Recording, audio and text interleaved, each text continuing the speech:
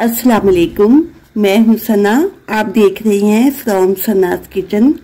आज मैं आपके लिए लेके आई हूँ दाल चावल की रेसिपी, जो कि आपको बहुत पसंद आएगी और मज़ेदार होगी और हरीम को पीछे छोड़ेगी। चलिए जी, रेसिपी की तरफ़ चलते हैं। बिस्मिल्लाहिर्रहमानिर्रहीम। आधा कप मेरे पास घी है। ये हम अपनी, ये कढ़ाई में शामिल कर देंगे। आधा प्याज वो मैंने शामिल कर लिया, ब्रीक कटा हुआ। इसको हल्का सा ब्राउन कर लेंगे। प्याज का कलर हल्का सा ब्राउन हो गया है तो हम ये अदरक, लहसुन एक एक टेबल स्पून ऐड कर देंगे। साथ ही दो मेरे पास सब्ज मिर्ची हैं, ये शामिल कर दूँगी।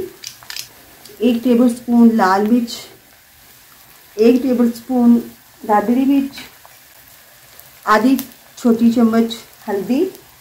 एक टेबल स्पून धनिया पाउडर आधी चम्मच छोटा काली मिर्च, एक टीस्पून नमक। अब इनको अच्छे से मिक्स कर लेंगे।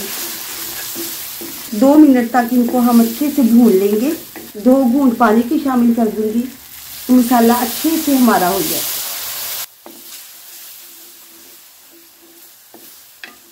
आधा किलो मेरे पास दाल है। ये मैंने गर्म पानी में एक घंटे के लिए भिगोती थी। ये शामिल कर दूँगी। और फ्लेम इसका बिल्कुल मीडियम रखना है। मीडियम फ्लेम पे हमारी ये दाल पकेगी। वो इसलिए कि ये कच्ची जो हंडिया होती है, ये बहुत ज़्यादा गर्म हो जाती है और इसलिए हम इसको तेज़ आँच पे नहीं बनाएँगे। इसको हम तीन से चार मिनट तक इसको भूनेंगे दाल को। दाल, मूंग और मसूर की एक एक पाव मैंने ली है। ये देखिए जी, दो तीन मिनट हमने इसको दाल को भून ली है। तीन से चार मिनट हमने भूना है दाल को। ये अच्छे से हो गई अब इस टाइम पे आके हम पानी शामिल करेंगे पाँच गिलास चार और पाँच। पच्चीस मिनट तक हम इसको पकाएँगे।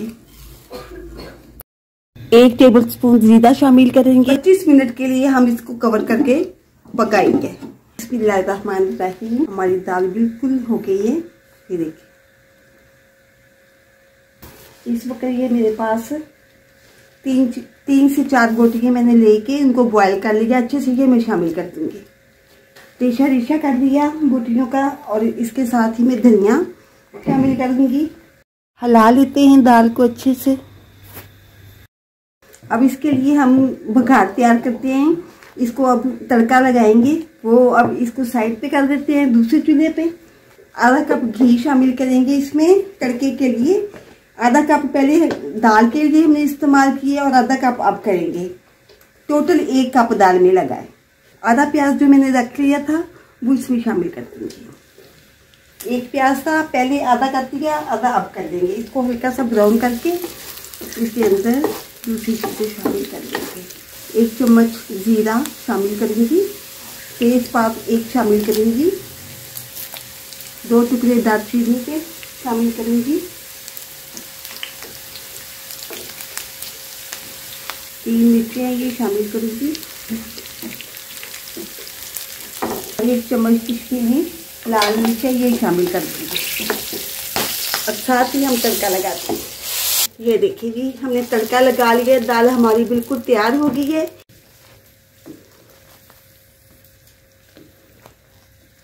धनिया थोड़ा सा शामिल कर देंगे। आधा कप घी शामिल कर लिया हमने। एक मैंने इलायची ले ली है। ये शामिल कर दूँगी दो लौंग ले लिए मैंने ये एक तेज पात, ये एक बादियान का फूल ले लिया है। और तीन टुकड़े मैंने दालचीनी के ले लिए और एक टेबल स्पून ये ज़ीरा है, ये शामिल कर। इसको हल्का सा रोस्ट कर लेंगे एक टेबल स्पून नमक शामिल कर दूँगी।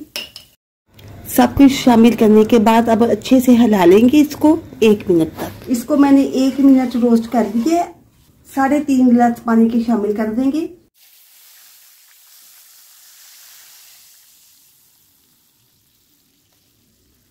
आधा चम्मच मेरे पास ब्रीक कटा हुआ अदरक है ये शामिल कर दूँगी तीन सब्ज मिर्ची ये शामिल कर दूँगी पानी पकने का इंतज़ार करते हैं। पानी हमारा पकने लग गया है। आधा किलो मेरे पास चावल थे, दो गिलास तकरीबन। इसको मैंने गर्म पानी में भगो दिया था। तकरीबन आधे से आधा घंटा, पौना घंटा मैंने भगो के रखा है। छः से सात मिनट तक इसको ढाँप देंगे। मीडियम फ्लेम पे। बिस्मिल्लाहिर्रहमानिर्रहीम। छः से सात मिनट हो गए। माशाल्लाह देखिए हमारे चावल। देखिए, बारह मिनट के लिए दम लगा देते हैं। थोड़ा सा ऊपर गार्निश के लिए धनिया डाल देंगे। अब इसको बारह मिनट के लिए हम दम पे लगा देते हैं। लो फ्लेम पे, बिल्कुल लो। बिस्मिल्लाहमान रहीम चावल हमारे बिल्कुल तैयार हो गए। धनिया थोड़ा सा शामिल कर देंगे इसमें। मज़ेदार से दाल चावल तैयार हैं जी। उम्मीद करती हूँ मेरी ये रेसिपी आप सबको बहुत पसंद आई होगी। अगर ये मेरी रेसिपी आपको पसंद आई है लाइक कमेंट और शेयर कीजिएगा। अपना ख्याल बहुत सारा रखिएगा। दुआओं में याद रखिएगा। इजाज़त दें। अल्लाह हाफिज।